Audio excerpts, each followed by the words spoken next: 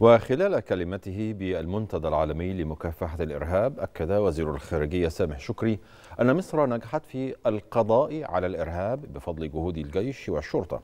وأشار شكري إلى أن جهود مصر تضمنت استراتيجية ذات جوانب مختلفة لمكافحة الإرهاب منها جوانب اقتصادية واجتماعية وفكرية من أبرزها مبادرة الرئيس السيسي لتجديد الخطاب الديني. نجحنا. في القضاء على ذلك الخطر بفضل جهود وتضحيات القوات المسلحة والشرطة المصرية. ومن خلال اتباع مقاربة شاملة لا تقتصر على الإجراءات الأمنية فحسب وإنما تمتد لتشمل الجوانب الاقتصادية والاجتماعية والتنموية.